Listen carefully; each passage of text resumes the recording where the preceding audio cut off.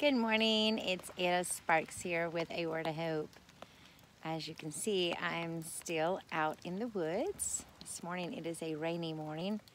I have tied an umbrella above my head to this pole right here to keep a few of the raindrops off of me.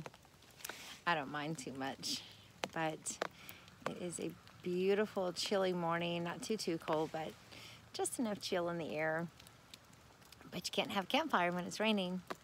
This morning I'm thinking about how today is Black Friday and I don't think I've ever spent a Black Friday sitting out in the woods in the rain before and how different it is from most years. Growing up as a little girl, we always spent Black Friday in the Galleria in Houston and that was a big part of our family tradition.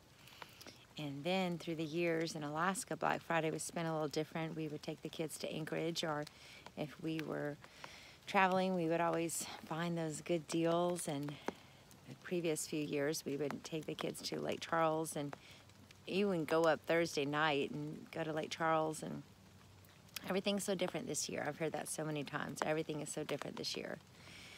But really, what I wonder is what are we teaching our children is so important. Is it the deals? Is it the sales are important? Which actually that is very important. Or is it that the time with family is important? And I remember going till two o'clock in the morning one year with my sister and I never bought anything. Like I hardly ever bought anything on Black Friday, but I would always go because I loved being with my sister. I loved the energy and watching her get so excited on her Black Friday sales.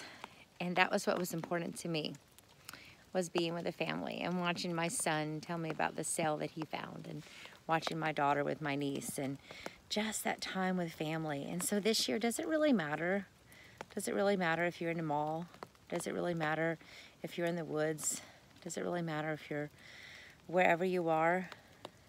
Or does it matter if you're with family? Does it matter if you've reached out across a telephone? Or across a FaceTime? Does it really matter what you're doing? If you're getting the best of a cell or if that you're connecting with those that you love? Because that is what is so important. The Bible tells us, train up a child in the way that they should go and they will not depart from it. Train your children to value what's important, not the 90% off sale at Best Buy that family is what's most important. They'll never forget those lessons. They'll hold on to them for the rest of their lives.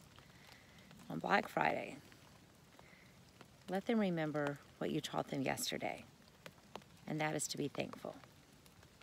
Be wise, not afraid. Things are different. Maybe that's good.